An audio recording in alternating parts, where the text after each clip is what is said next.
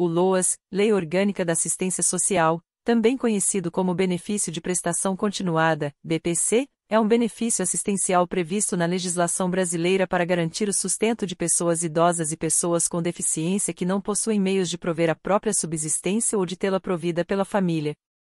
Aqui está tudo o que você precisa saber sobre o LOAS e quem tem direito a ele. O que é o LOAS, BPC? O LOAS é um benefício assistencial garantido pela Constituição Federal e regulamentado pela Lei nº 8742-1993. Ele visa assegurar um salário mínimo mensal àqueles que não possuem condições de prover a própria subsistência ou tê-la provida pela família. O benefício é pago pelo Instituto Nacional do Seguro Social, INSS. Quem tem direito ao LOAS?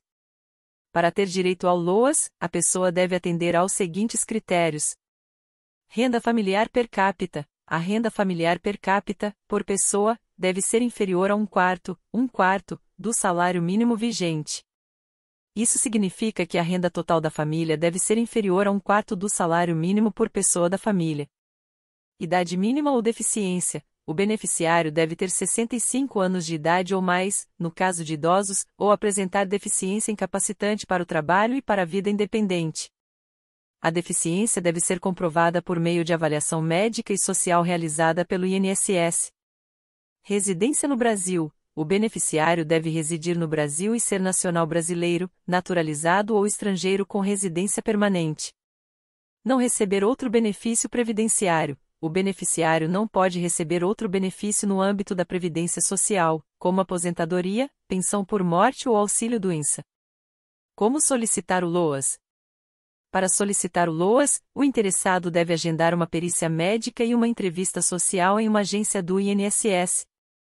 Durante a perícia médica, será avaliada a deficiência e sua incapacidade para o trabalho e vida independente. Já na entrevista social, serão avaliadas as condições socioeconômicas da família. Conclusão: O LOAS, BPC, é um importante benefício assistencial garantido pela legislação brasileira para garantir o sustento de pessoas em situação de vulnerabilidade, sejam idosos ou pessoas com deficiência. Para garantir o acesso ao benefício, é fundamental atender aos critérios estabelecidos e fornecer toda a documentação necessária durante o processo de solicitação.